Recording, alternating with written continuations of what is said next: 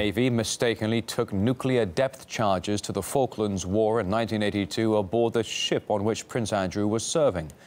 And in southern England in 1987, the Defence Ministry imposed an information blackout after four nuclear bombs slid off a truck into a roadside ditch. Then British and French submarines, both carrying nuclear warheads, nearly collided in the Atlantic in 2009.